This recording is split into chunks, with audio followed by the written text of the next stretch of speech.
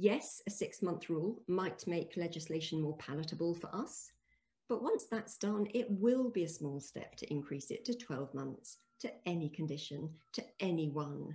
This is what we've seen happen in almost every other nation that has legalized assisted dying.